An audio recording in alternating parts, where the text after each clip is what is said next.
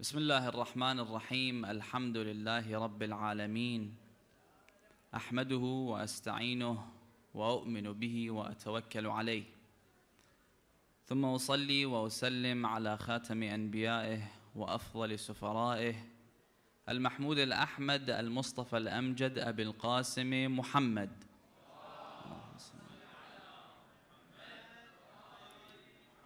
وعلى أهل بيته الطيبين الطاهرين سيما بقيه الله في الارضين والحجه على الخلائق اجمعين المهدي المنتظر فداه ارواح العالمين The third precondition for salat is the purity of the body and clothing.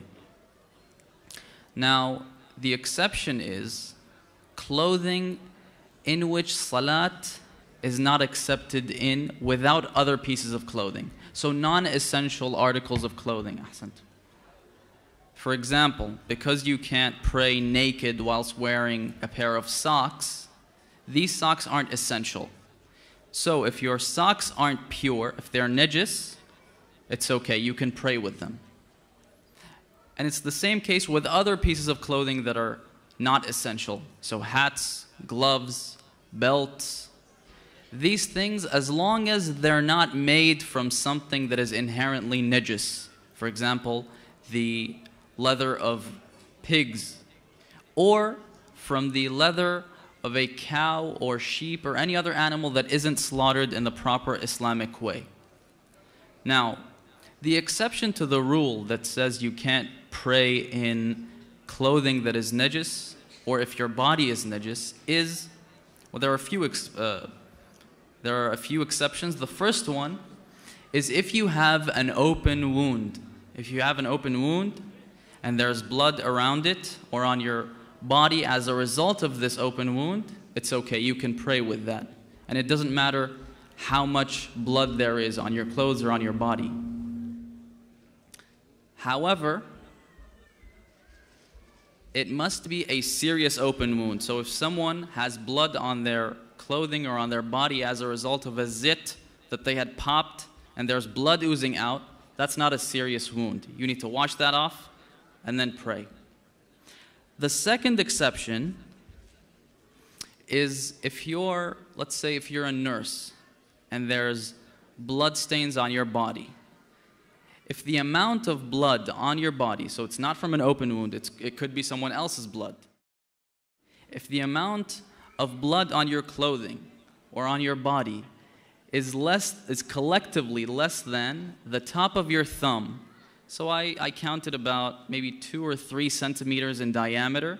If it's less than this amount it's okay. You can pray with it. However there are different bloods. So if you have any questions you could either check it up online or you could ask me. Now if someone didn't know, if someone knows that there's bloodstains on their clothes, then they can't pray in it. If they do, they need to redo their prayer. They have to repeat it. However, if they didn't know there, that there was blood on their clothing, or they checked for blood and they couldn't find any, and they prayed, if they found out and realized in the middle of their prayer and, was, and were able to take that article of clothing off, then they have to do that.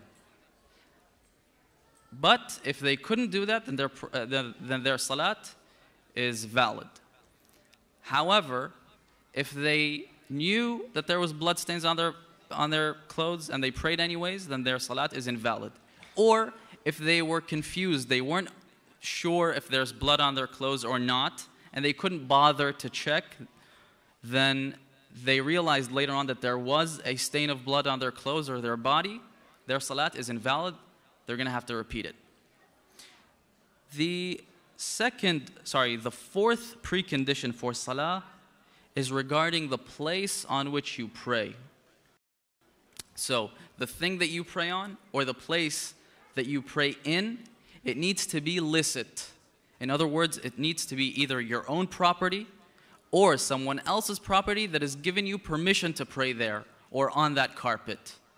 If you didn't know that this property was stolen, either this prayer mat or this house that you're praying in, if you didn't know it was stolen, it was someone else's property, and you prayed there, then your salah is valid. However, this is only true for other, other than the thief himself. So let's say someone is a thief and all he does is he steals prayer mats. If he prays on a random prayer mat, not knowing whether or not this is his or a stolen one, and then he realizes later on that this prayer mat was uh, stolen, his prayer is invalid, he will need to repeat it. The other thing is about the purity of the place that he prays on. So you, the place that you stand on and you pray needs to be tahir, needs to be uh, pure if it's wet. But if it's not wet, if it's dry, then it's okay. It doesn't need to be tahir. This is true with the exception of the place that you put your forehead on. The place that you put your forehead on needs to be tahir, wet or dry, no exceptions. This concludes the ahkam of tonight. Sallu ala Muhammad wa ali Muhammad.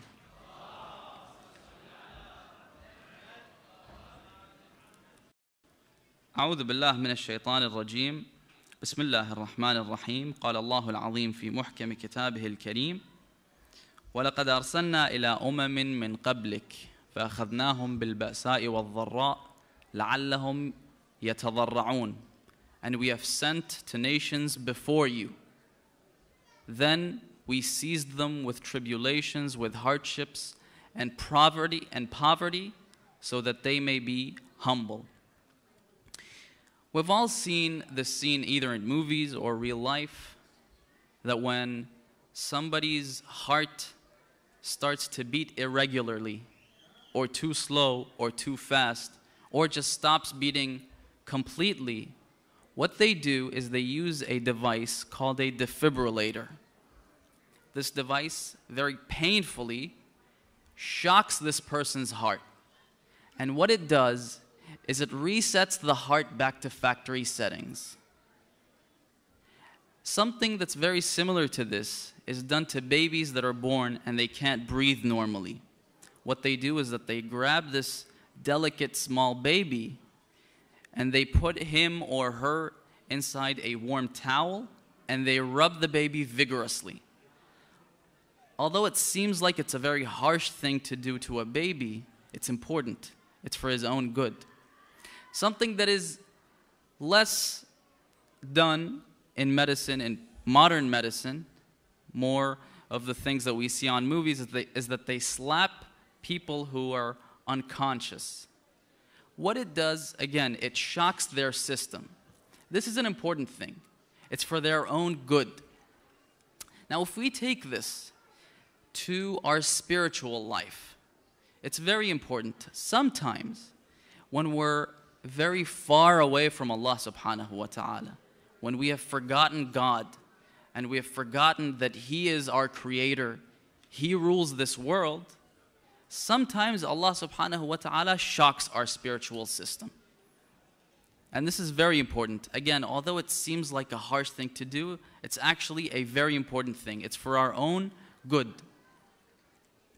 So, how does Allah subhanahu wa ta'ala do this? the hadith from the Prophet وآله, says, لولا ثلاثة في ابن آدم ما طأطأ رأسه شيء. If it wasn't for these three things that mankind goes through, nothing would make him bow his head in humility. What are these three things? المرض والموت والفقر. Sickness, death, and poverty. Again, although it seems like it's a harsh thing to do. It's for our own good. It's actually the mercy of Allah subhanahu wa ta'ala. Because, again, it gives us a reality check. It makes us do more good. And there's no contradiction between this and free will. Free will is there because we as Muslims, we say that each able, sane, and cognizant adult has free will you get to choose whether you go to heaven or hell. But Allah, out of His infinite mercy, He tries to pull you out of the mud. But if you keep on taking yourself deeper and deeper into mud, then He will leave you. And this is free will. So, this is how God tries to make us do more good. There's actually a, an interesting story. There's a hadith that says Musa, Prophet Musa ala nabiyina wa alihi wa alayhi salam, was walking alongside a beach. And while he was walking, he saw the body of a dead person. This man had been eaten in his lower half by sharks, and his upper half had been eaten by vultures. And one of the characteristics of the believers, this is in between parentheses, is that they try to take lessons from everything they see. Try to look for morals in every situation. He asked Allah, he says, What happened to this guy? Allah says, This person asked me to give him your status in heaven. And there was no way that I could give him that status except for let him, letting him be like this. The other story, also an interesting story, there was a, a documentary about this lady a few months ago. This lady wasn't uber religious. In her youth, she became a doctor and she met a person that she wanted to get married to. He was also a doctor. She got married to him. A few months or years later, they had a child, a boy.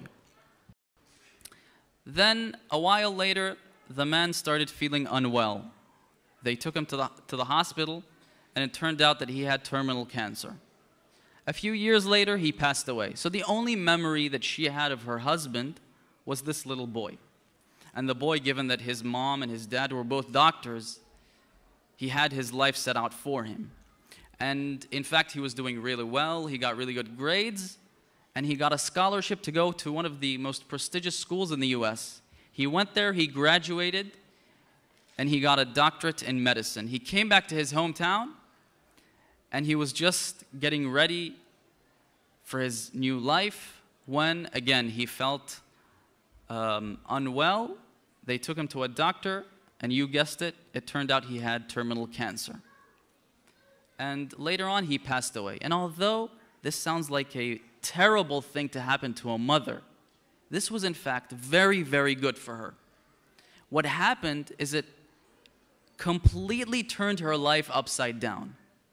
Suddenly, she took all her money, and she was a wealthy woman. She took all her money and she made and built the most prestigious hospital that specializes in the type of cancer that took away her husband and her son. She took her mansion and she turned it into a makeshift hotel for the relatives of the sick to stay in while their relatives get treatment.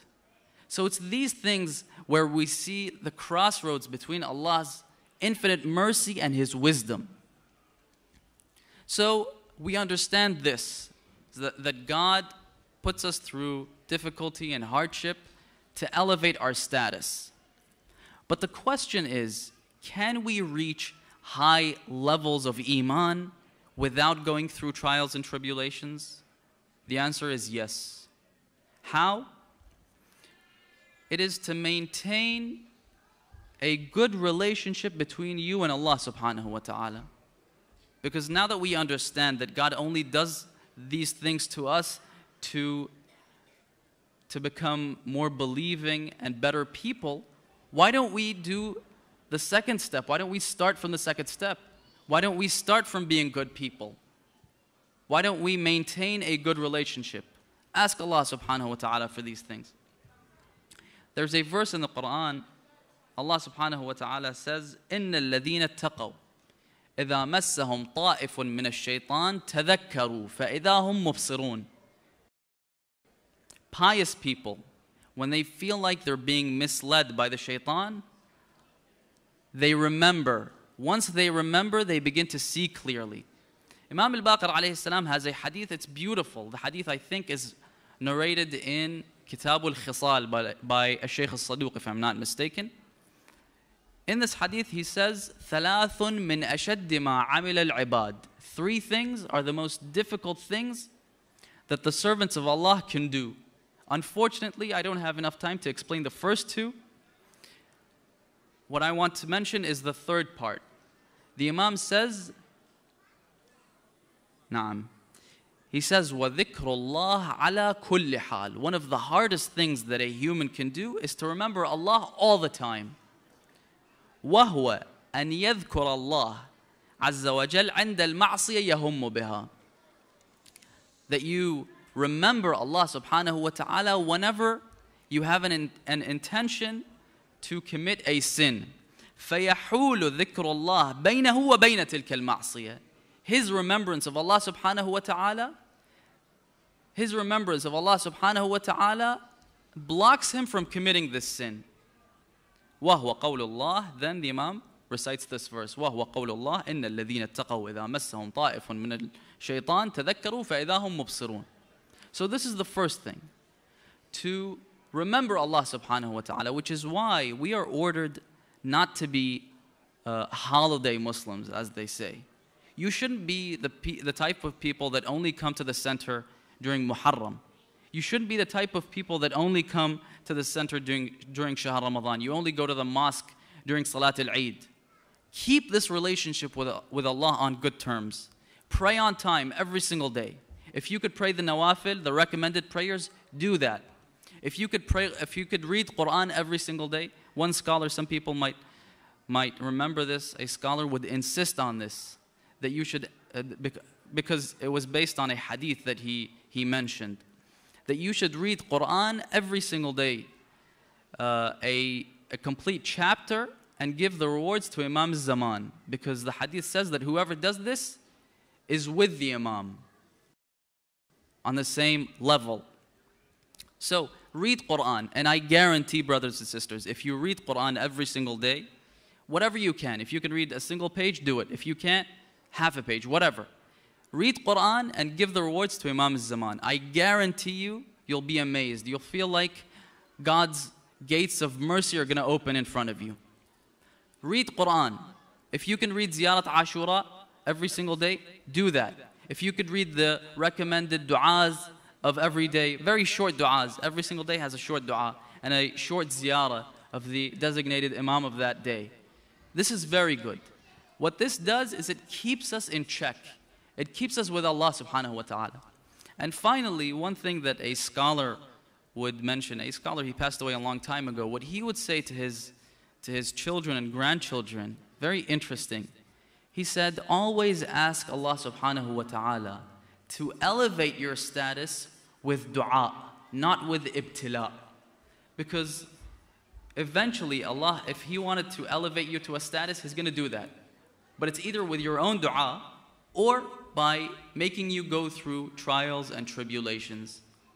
So inshallah, we ask Allah subhanahu wa ta'ala to guide us and to elevate our status with the tawfiq that He will give us inshallah to pray more and to do, uh, and to do dua more inshallah.